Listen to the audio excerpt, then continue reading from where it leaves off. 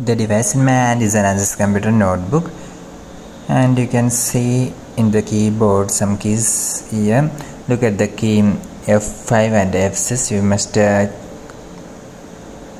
view the images in the F5 and F6 key because in some models the key may be different so the F5 key is for decreasing the brightness and F6 for increasing the brightness but for some newer version F4 is used for decreasing brightness and F5 is for increasing brightness and this is the Fn that is the function key.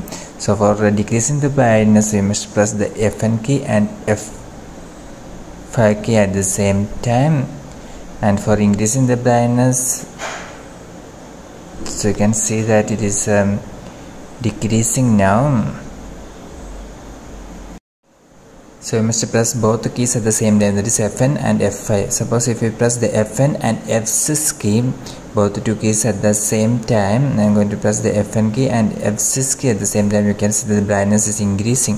For more videos like this subscribe engineers online. Thank you